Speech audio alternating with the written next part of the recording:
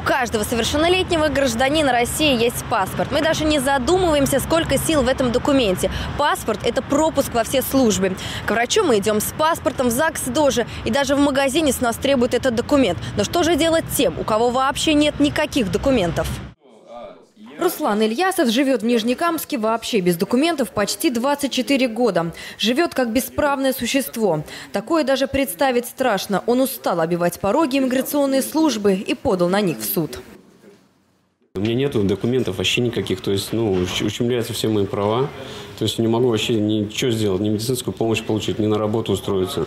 Живу уже 24 года в стране, с 92 года, и борюсь с тем, чтобы просто тупо получить паспорт. Выехать я из страны не могу, потому что у меня нет документов.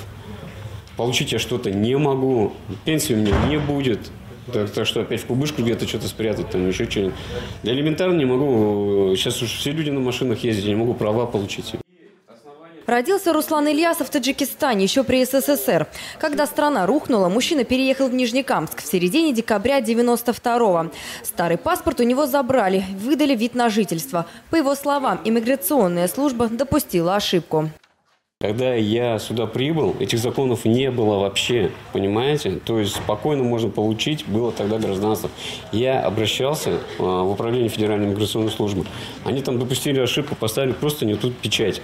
Сейчас они от этого всего отнекиваются, отказываются, короче, говорят, что я сам виноват во всем этом. И просто признавать свою ошибку не хотят. Но, к сожалению, в прошлое уже не вернуться и ошибки не исправить. Теперь нужно следовать новым законам. Начальник УФМС на суде разложила все по полочкам и попытался объяснить истцу, почему они не могут выдать ему гражданство.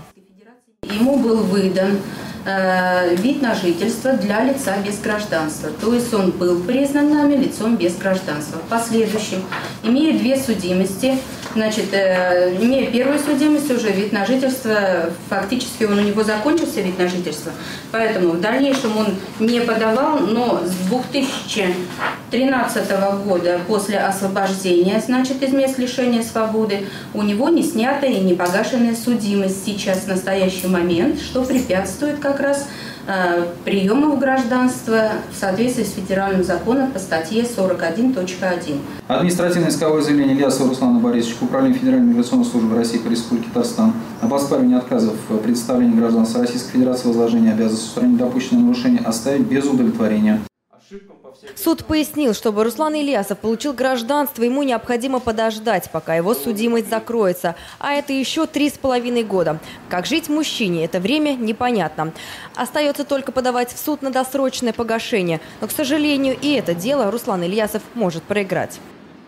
Алсу Арсланова, Максим Липин, Новости, НТР.